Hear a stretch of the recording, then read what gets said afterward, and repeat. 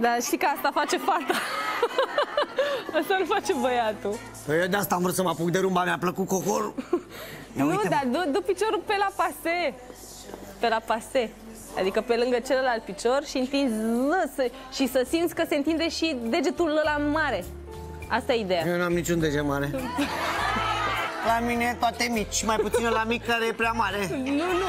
Deci asta e. e trebuie să fie imaginați-ți o Băi, săgeată. rumba, rumba e în mine. Arată în săgeata. Rumba este dansul dragostei. Deci pe la pase, Noi nu știm ce dracu e la pase, la pase. nu mă, pase, adică treci pe la celălalt picior. E Păi zi așa, cum zici la câine, la picior. Treci la picior.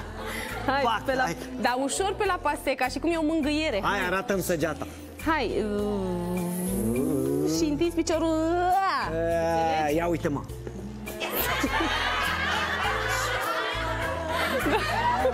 Ce e asta? Pentru că mi se spunea picioare de gumă. Colegul meu Răzvan vă va prezenta un material super interesant. Pe material o să mai facem un pe la pase. Picioare de gumă. Mulțumim, uh, mulțumim. uh, Uite mă.